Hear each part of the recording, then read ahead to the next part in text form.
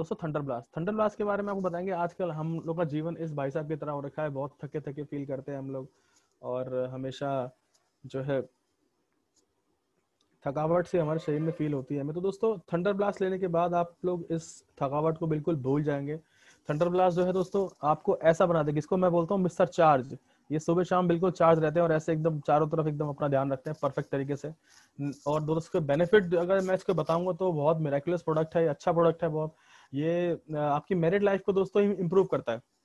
Mails के लिए stamina ये इम्प्रूव करता है। अगर उनको कोई पर्सनल प्राइवेट पार्ट्स कुछ प्रॉब्लम है इरेक्टाइल डिस्फंक्शन है या प्री की प्रॉब्लम है, या स्पर्म काउंट लो है, जिससे पिता बनने में थोड़ी सी प्रॉब्लम आ सकती है फ्यूचर में तो उसमें बहुत कारगर है दोस्तों। इसमें मोती बस में लो बस में वांग बस में दोस्तों, जो बेसिकली स्पर्म काउंट बढ़ाने के लिए बहुत यूजफुल होती हैं। थंडर ब्लास्ट मेनली दोस्तों आपके खून को पतला करता है ताकि वो आपकी सबकी सब नर्व से, जो भी आपकी बॉडी में नसों से रिलेटेड प्रॉब्लम है, उसको आप बिल्कुल ठीक रख सको। आपकी बॉडी में ब्लड जो है ढंग से फ्लो कर पाए। सारे न्यूट्रिएंट्स और साइक्रो सारे माइक्रो न्यूट्रिएंट्स आपकी बॉडी के कोने कोने तक पहुँच पाए। ब्लड का काम यही होता है दोस्तों। और किसी भी तरह की ब्लॉकेज है क्लॉट्स है नर्वस सिस्टम में उनको ठीक रखता है, आपकी बेसिक पावर को बढ़ाता है मसल्स पावर को बढ़ाता है। दोस्तों, और उसके बाद इसमें सिंदूरस होता है जो वीकनेस को ट्रीट करता है एंटी एजिंग होता है।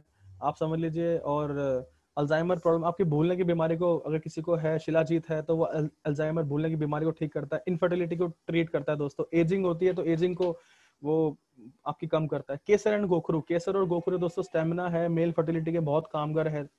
सफ़ेद मूसली है दोस्तों वो आपका स्पर्म काउंट बढ़ाता है टेस्टोस्टेरोन लेवल बढ़ाता है। तो दोस्तों ये बिल्कुल अगर मैं बता पाऊँ आपको एक लाइन में तो ये ओवरऑल प्रोडक्ट है बहुत अच्छा मेल्स के लिए। आप इसे फीमेल्स को भी दे सकते हैं सारी सा, सारी जरूरतें फीमेल्स को भी होती हैं। और दोस्तों अगर नर्व्स रिलेटेड बात करें अगर नसों से रिलेटेड बात करें तो ये रामबान है। आपके जनरल वीकनेस के लेवल को दोस्तों कम करता है नॉर्मल आपको ये काफ़ी चीज़ें बढ़ाता है। आपको हेल्दी रखता है। डायबिटिक पेशेंट को दोस्तों हम लोग डायबिटिक पर्सन को इम्यूनोडॉक हम लोग नहीं देते हैं। हम लोग इम्यूनोडॉक डायबिटिक पेशेंट को नहीं देते हैं। डायबिटिक पेशेंट को थंडर ब्लास्ट देते हैं दोस्तों।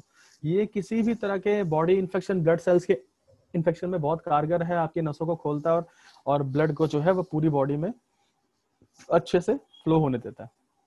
तो थंडर ब्लास्ट दोस्तों मैं आपको यही बोलूँगा 15 से 20 एम से स्टार्ट करें क्योंकि कई बार जब हम इसको एक्स्ट्रा 30 एम से स्टार्ट करते हैं तो कई बार हमें मोशंस भी लग जाते हैं। मोशंस लगने का ये मतलब नहीं होता कि प्रोडक्ट ऐसे हैं। मोशंस लगने का मतलब यह कि एक्चुअल में प्रोडक्ट काम करना मतलब काम कर पा रहे हैं। तो सो थंडर ब्लास्ट को डाइजेस्ट करने के लिए हम लोग इम्यूनोडॉक की हेल्प देते हैं क्योंकि इम्यूनोडॉक का काम यही है कि कि सारी जो चीज़ें आपकी डाइजेशन उसको ठीक करके आपकी बॉडी के कोने कोने में टिश्यूज और ऑर्गन्स में सारी एनर्जी को पहुँचाए। ठीक है दोस्तों थंडर ब्लास्ट हम डायबिटिक पेशेंट को दे सकते हैं, उसको हमें इम्यूनोडॉक नहीं देना है। बाकी सब पेशेंट्स को हम, बाकी सब किसी हेल्दी हेल्दी को भी हम इम्यूनोडॉक और थंडर ब्लास्ट दोनों